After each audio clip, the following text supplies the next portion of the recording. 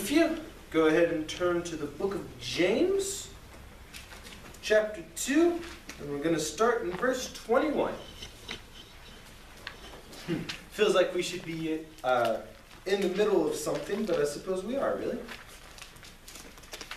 Don't you remember that our ancestor Abraham was shown to be right with God by his actions when he offered his son Isaac on the altar?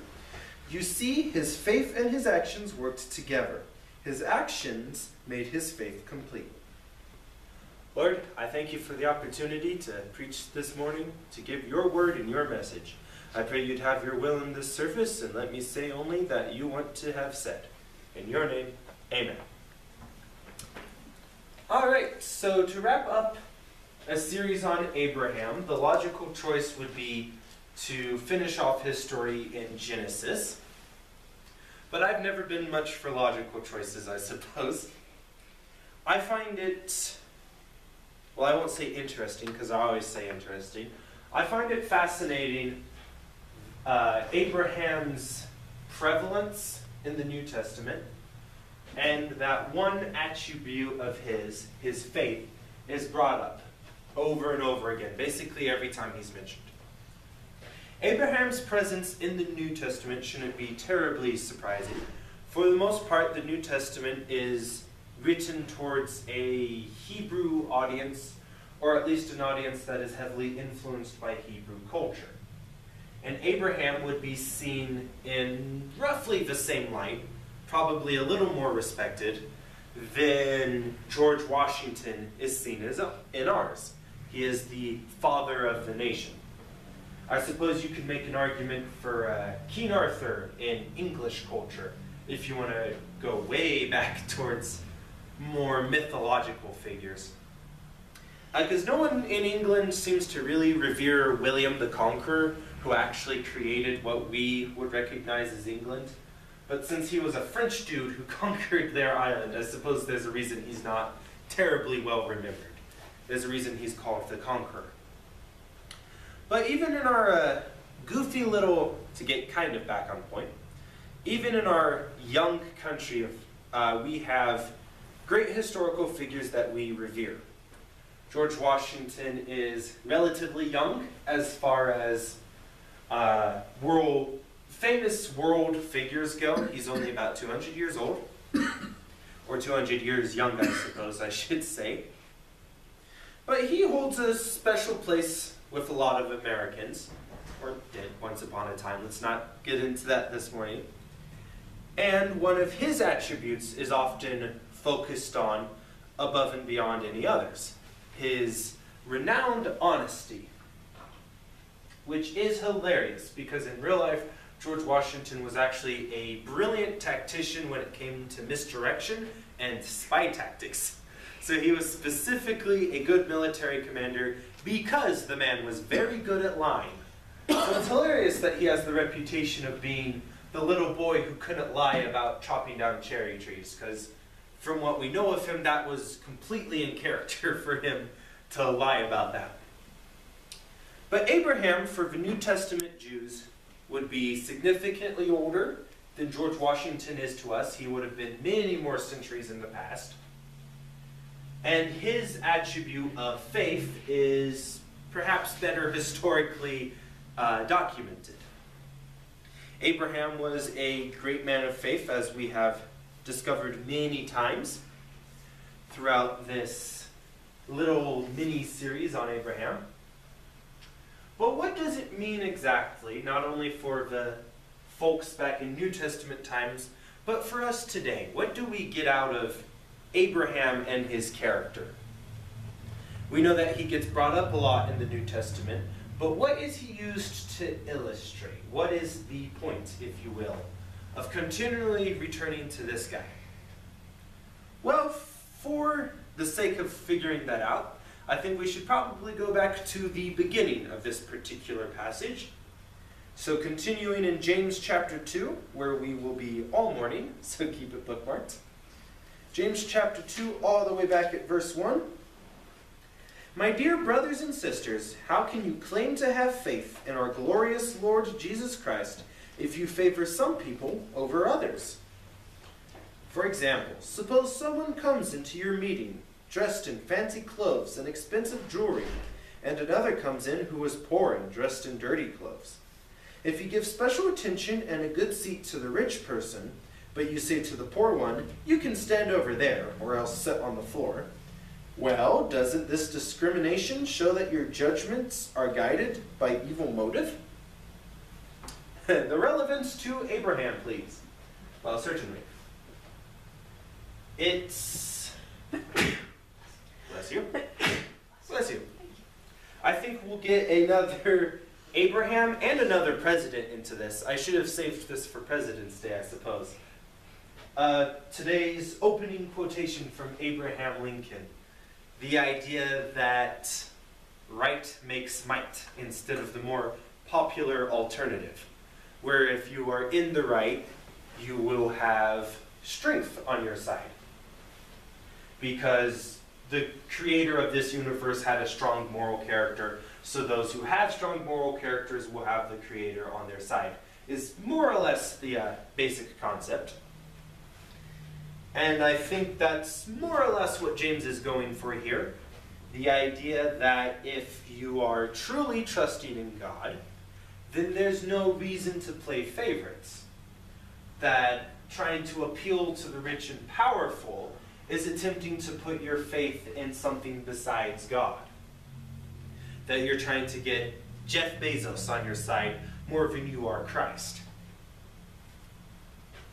And that's well, James kind of goes on to explain why that's not necessarily a good plan. Listen to me, dear brothers and sisters. Hasn't God chosen the poor in this world to be rich in faith? Aren't they the ones who will inherit the kingdom he promised to those who love him?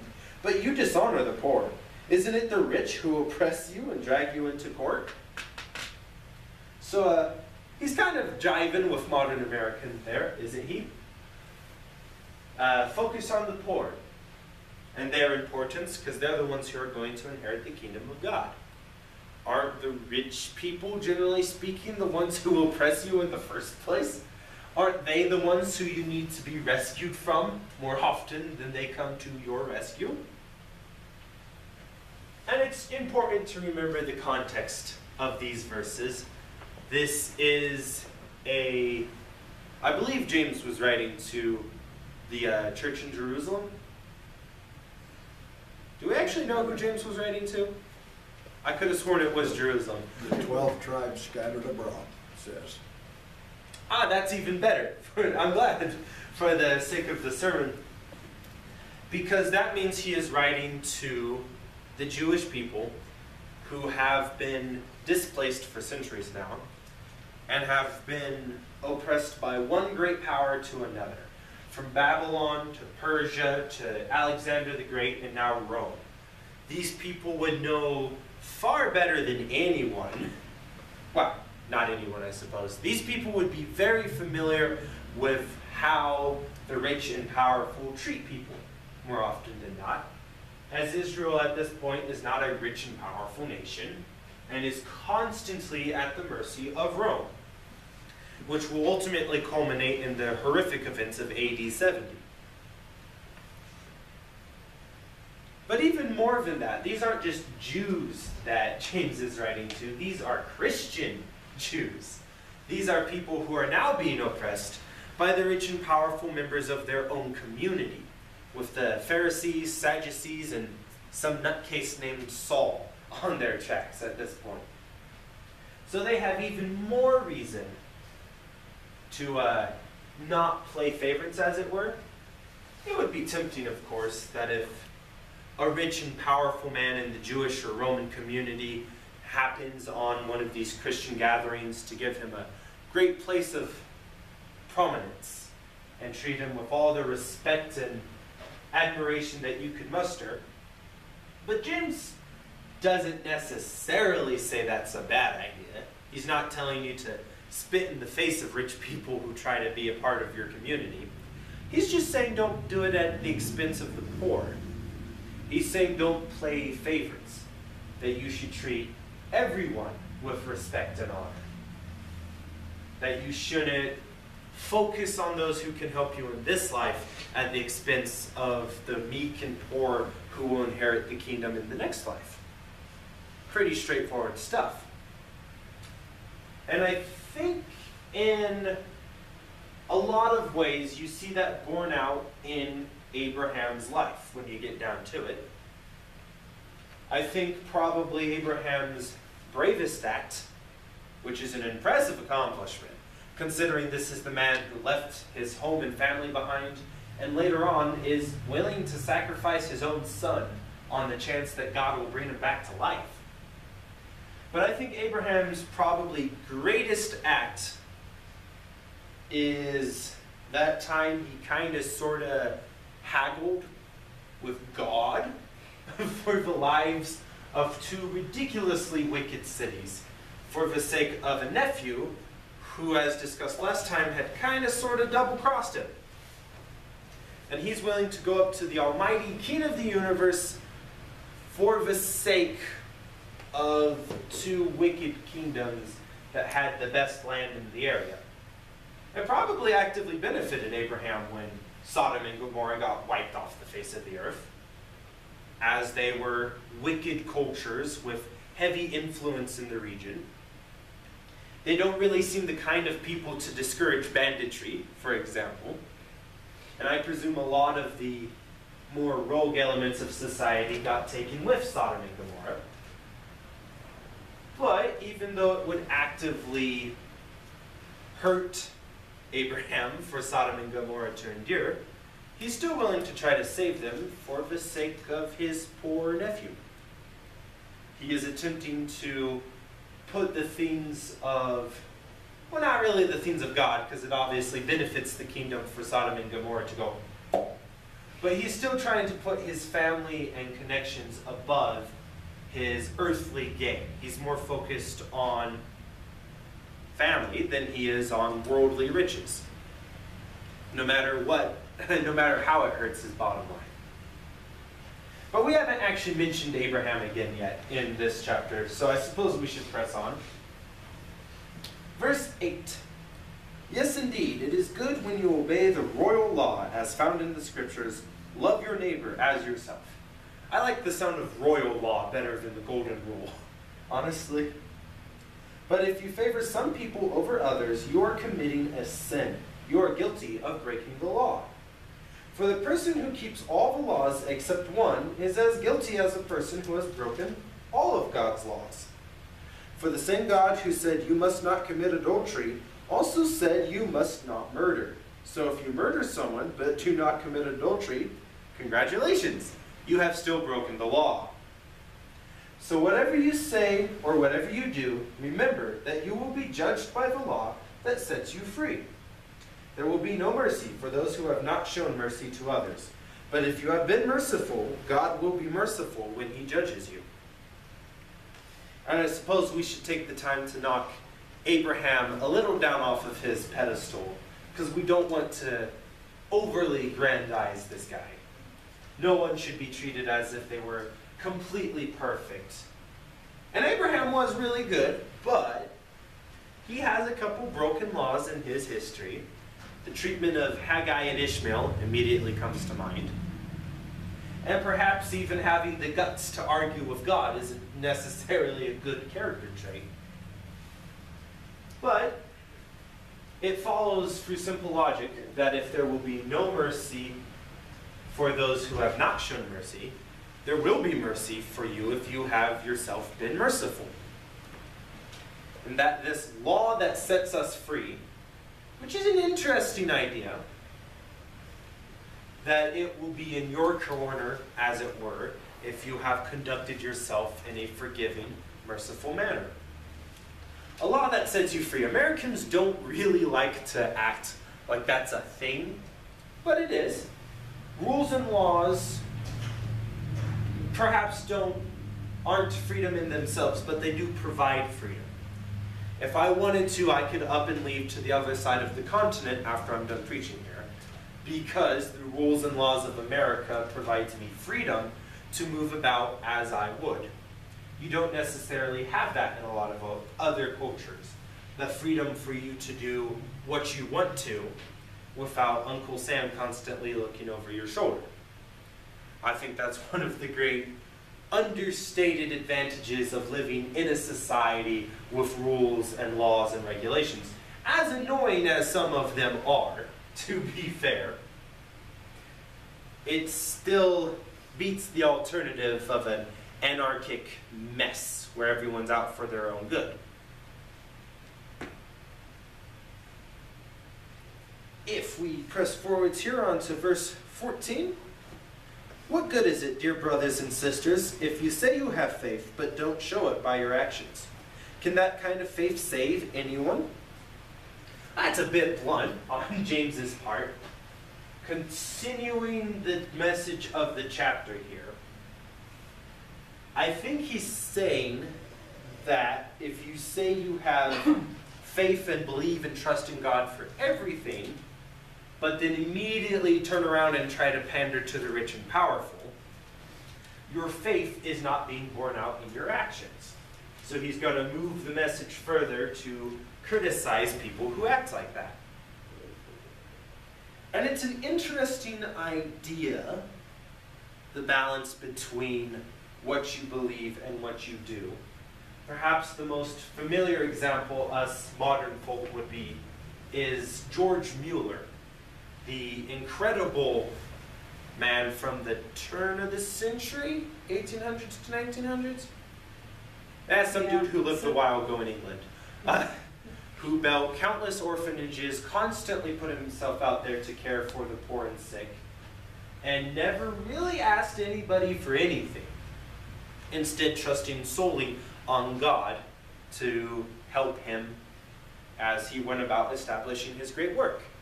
And I think he was probably in God's will for that. And I think I won't be taking pot shots at George Mueller this morning. But I don't necessarily think the Bible supports copycatting him any more than Joshua was commanded to go make war with the infidels, which means we should always be picking fights with non believers and chopping heads off. Just because Joshua or George Mueller was told to do it doesn't mean Joshua or a random dude named George is told to do it.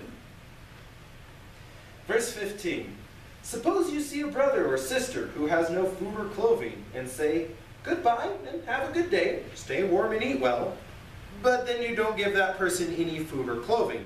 What good does that do? That's why I like the New Living Translation. So you see, faith by itself isn't enough unless it produces good deeds it is dead and useless. Now, someone may argue, some people have faith, others have good deeds. But I say, how can you show me your faith if you don't have good deeds? I will show you my faith by my good deeds. And uh, I won't really be expanding that in any way, to be honest, because I think that gets the point across. You can say you're a good, strong, solid Christian all you want. If you're not acting like it, what good does that do anyone? If you go to church on a regular basis, if you memorize scripture, if you sing the songs and play the part, and don't actually lift a finger to help your fellow man, not a strong Christian, to be honest. Which is, I suppose, sitting in judgment of other, other people, but in my defense, I'm just repeating what an apostle said. So if you have a problem with it, take it up with him because it's in the Bible. Faith doesn't do a lot of good without actions.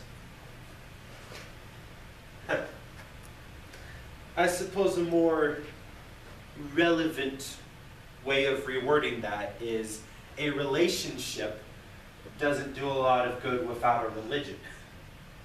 Boy, am I stepping on toes with that, but none of the people who actually say that are here. So the, the Bible specifically calls Christianity a religion, and that when that particular religion is at its best, being used to its fullest extent, the use it was meant for, it's charity work. That when you go out and feed the sick and poor, that is Christianity in action. So as much as we may not like the taboo word of religion in this day and age, you can have a relationship with Christ all you want if that's not actually resulting in a Christian lifestyle, it's not doing anyone else any good.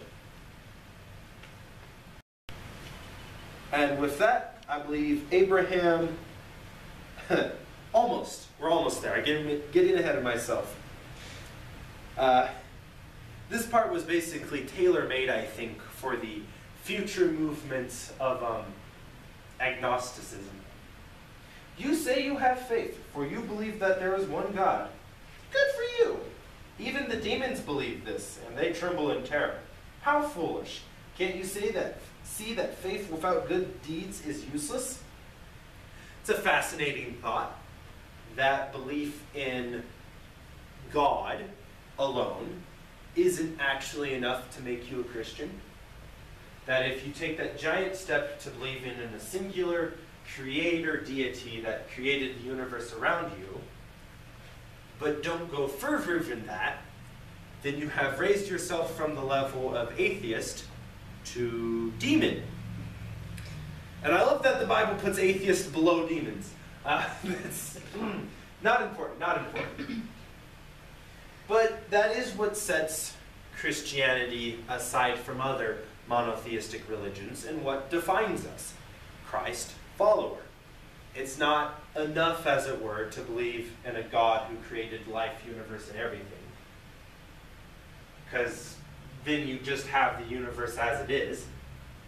We take it a step further. We believe that this God was a kind and loving God who sent his son to die for us. That's uh, kind of the entire point.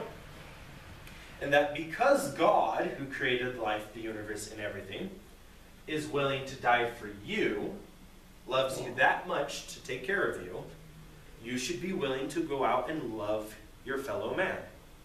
Charity work, like George Mueller's, is baked into the Christian religion. It's what defines the faith in a lot of ways. It's what makes us different from any random Joe Schmo who thinks the universe was created by a giant platypus. That's not Christianity. There's an important distinction to be made there. Verse 21 and 22 that we read already. Uh, remember Abraham that he was particularly marked as a man of faith. And so, and so it happened, just as the scriptures say, Abraham believed God, and God counted him as righteous because of his faith. He was even called the friend of God. High praise indeed. So you see, we are shown to be right with God by what we do, not by faith alone. That yes, Abraham was considered the friend of God through his faith, but that faith specifically resulted in specific actions, namely being willing to sacrifice his son to God. And I don't think we're all, again, I don't think it's a one size fits all, we're all called to do X dot and Y.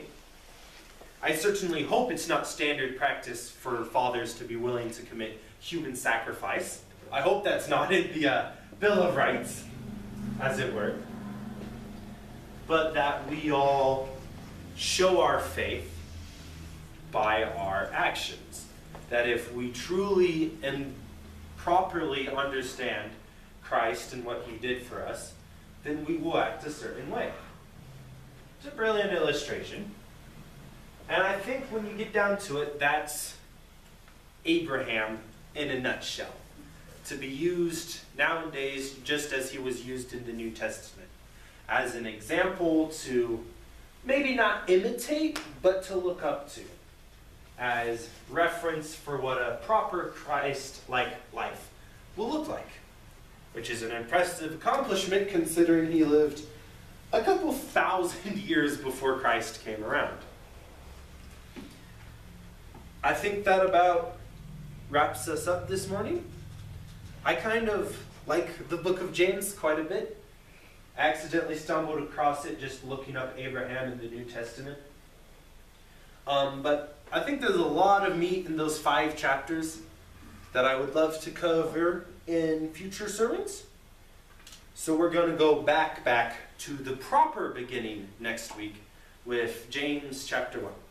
Or at least that is my current intention. If the man upstairs says otherwise, we'll do otherwise. So before we dismiss this morning, does anyone need a special touch or prayer? All right then if Sister Jane would dismiss us and bless our food.